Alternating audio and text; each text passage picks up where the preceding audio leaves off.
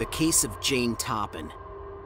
Jane Toppan, born Honora Kelly in 1857, was an American nurse and serial killer who confessed to killing at least 31 people in the late 19th and early 20th centuries.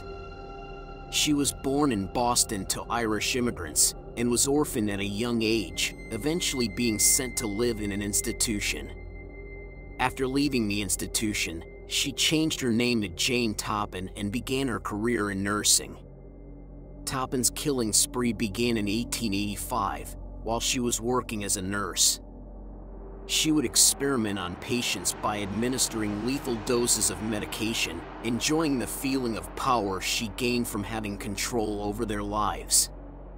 Her preferred method of killing was by administering a mixture of drugs that would induce seizures, and she would often climb into bed with her victims as they died.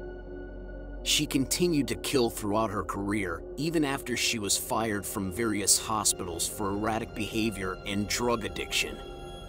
Toppan's crimes came to light in 1901 when the family of one of her victims requested an investigation into the cause of their loved one's death. A toxicology report revealed traces of the drugs Toppan had administered, and she was arrested and charged with murder.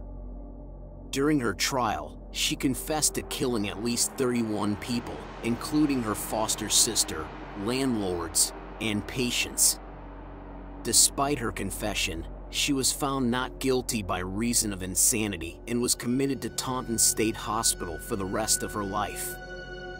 Toppan's case was one of the first in which a female serial killer was tried in the United States, and it garnered significant media attention. Her chilling confessions and the details of her crimes shocked the public, and her story has continued to fascinate true crime enthusiasts to this day. We hope you enjoyed this case overview, presented by Emmy Award-winning CrimeSonics. Be sure to give us a like, leave a comment, and subscribe for more content just like this.